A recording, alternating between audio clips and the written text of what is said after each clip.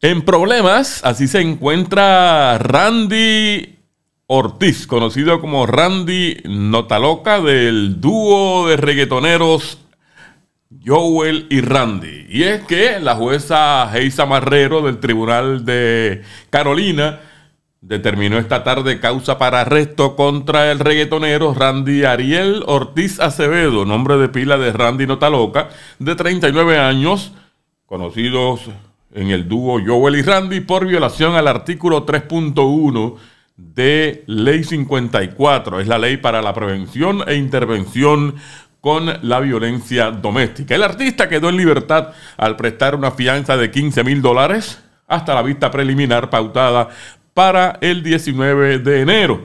De acuerdo con informes preliminares, los hechos ocurrieron en la urbanización Mansiones de Vistamar en Carolina el sábado a eso de las 7 de la noche en una residencia donde la mujer que vive en Estados Unidos estaba pernoctando durante la temporada navideña y surgió un altercado en el que presuntamente el exponente del género reggaetón la agredió y amenazó.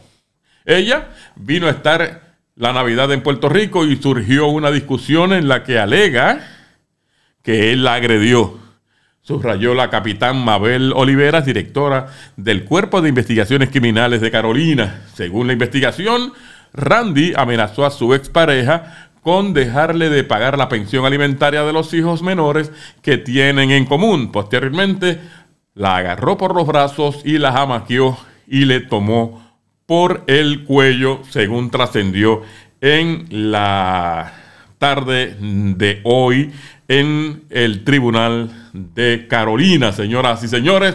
A pesar de que estaba citado para la una de la tarde, Randy llegó a las 12 y 45 al tribunal, donde se llevó a cabo la vista durante la cual el Ministerio Público, representado por el fiscal Antonio Yola, presentó el caso mediante la declaración jurada de la víctima y el testimonio del agente interventor.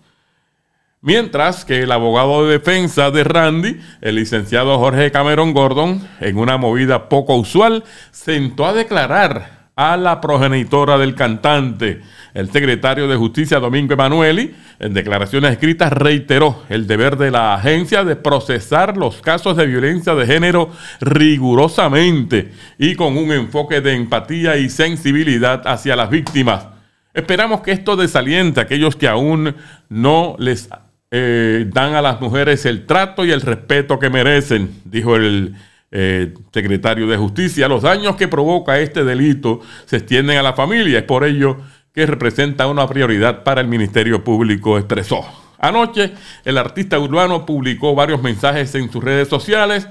Uno de ellos decía o leía, hoy hay fiesta, tírenme al DM, que voy a hacer mi despedida. Hoy y mañana hay fiesta recibió en el primer history en su cuenta de Instagram, seguido por otra publicación que dice, a mí tu brujería no me sala. En el 2017 el cantante se querelló contra una pareja en aquel entonces por un incidente de violencia doméstica frente a una discoteca. Esta sería la segunda ocasión en que Randy Notaloca está metido en problemas relacionados con violencia de género. ¿Qué le pasa a Randy? Randy, deja esa nota loca. Lo dijo Junior. Gracias. Restaurante Deleite en el CNC Profesional Plaza Barinas Yauco. 787-987-8088.